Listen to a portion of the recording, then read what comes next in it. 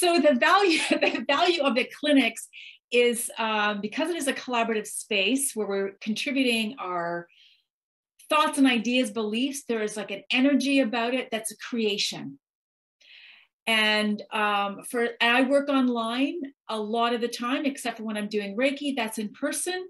And when I'm working online with somebody, it's creation, but it's it's different. It's different when I'm working with a client versus coming to a space of my peers and exchanging ideas um, ex- and asking questions and exploring and probing and i love all of that. And and now especially because i'm not in an organization although it's been a, a, few years now realizing how important that is for me and how much i've missed that.